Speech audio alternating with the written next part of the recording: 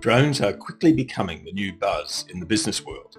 These remotely piloted aircrafts have grown in popularity in recent years, not only for recreational use, but also in commercial applications. This includes industries like real estate, tourism, insurance, mining, engineering, marketing, entertainment and sports. The possibilities are endless for all sectors to encompass this new technology, and with the new relaxed regulations, implementing the use of drones is now an affordable and efficient option.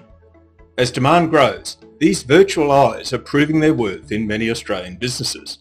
But what about insurance? For any business utilising this groundbreaking technology, it is important to have adequate and specialised cover, not only to protect your investment, but also in consideration to possible liability. But what are the facts?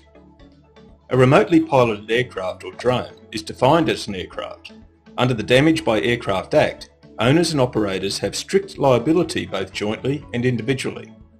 It is imperative that your business understands the implications of strict liability before operating the drone commercially.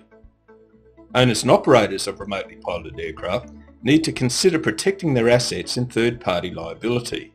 This includes cover for accidental damage while in flight.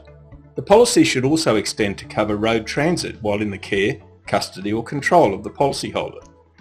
Third-party liability that binds to each drone individually. This will protect bodily injury or property damage as a result of an accident. Operating without adequate insurance could result in serious liability implications under the Damage by Aircraft Act. It is important that all businesses understand these implications, including the operational limitations imposed by the Civil Aviation Safety Authority. Get to know the facts on drone cover.